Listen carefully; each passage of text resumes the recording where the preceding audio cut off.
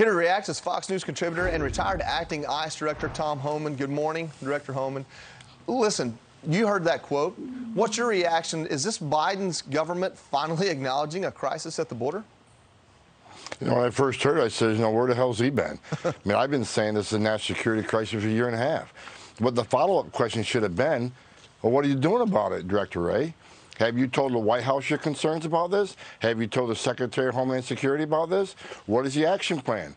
How are you going to secure the United States? How are you going to attack this national security threat that you just talked about? That should have been the line of question. But look, here's what people need to understand.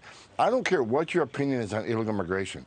When you create this crisis they've created that has taken up to 70% of border stations off the line, criminal cartels move drugs, they move bad people, and they're going to move terrorists. They've arrested 50, what, 53 people on terrorist watch list already.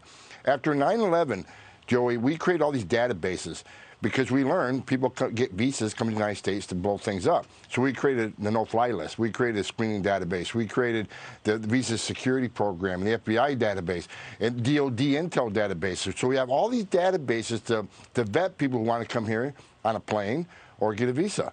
And those systems worked well. We, we prevented thousands of people with derogatory information on coming to this country.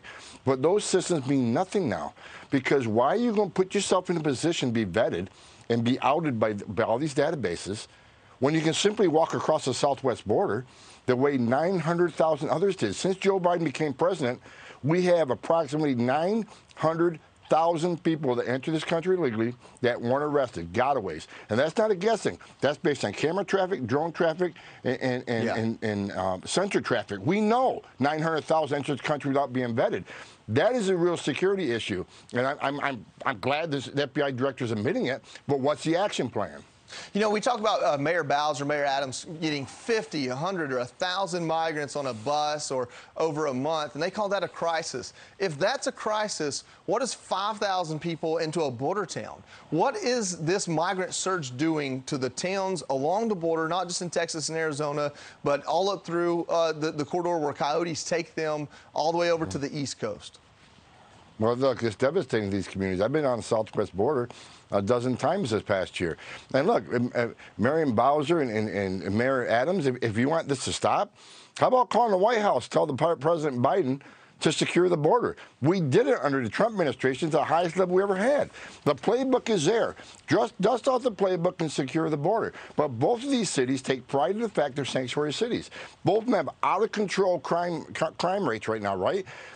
Each of these cities release criminal aliens to the streets every day.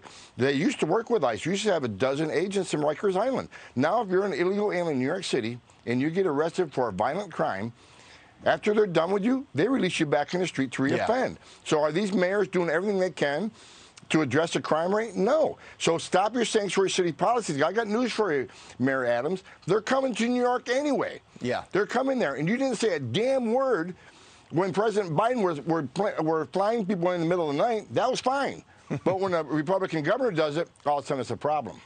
You know, Sanctuary City is a place where people ask for migrants to come there, and uh, that's what New York calls itself, and that's what D.C. calls itself. So the irony yes, is sir. not lost on the American people.